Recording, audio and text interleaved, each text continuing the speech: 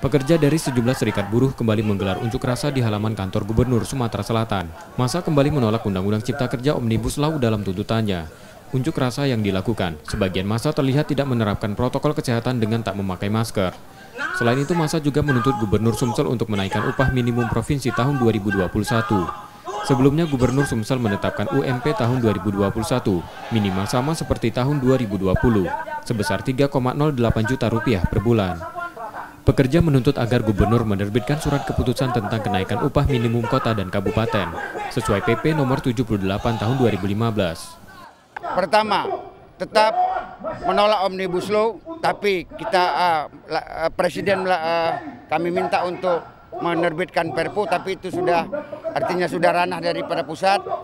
Yang kedua, upah minimum provinsi agar ada revisi dari gubernur upah minimum kabupaten kota agar dinaikkan. Kemudian uh, fungsi pengawasan harus di, dilaksanakan. Menanggapi tuntutan buruh, Gubernur Sumsel Herman Deru mengaku masih mengkaji tuntutan terkait kenaikan UMP tahun 2021.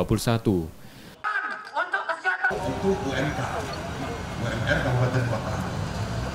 Yakinlah, dong kita tidak sama dengan provinsi yang yang lain-lain itu. Ini lagi dikaji. Kan masih di 1 Januari pemberlakuannya kan? Ya tenang deh, aku ada di kamu. Tenang deh, aku ada di kamu. Paham ya? Ya. Ya, ya, ya. nih. Rakati budi-budian. Orang-orang ngapus-ngapus. Meski Menteri Ketenagakerjaan sudah menerbitkan surat edaran tentang tidak menaikkan UMP 2021, ada lima provinsi yang tetap menaikkannya, yakni DKI Jakarta, Jawa Tengah, Jawa Timur, Yogyakarta, dan Sulawesi Selatan. Rizky Nurmizan, Kompas TV, Palembang.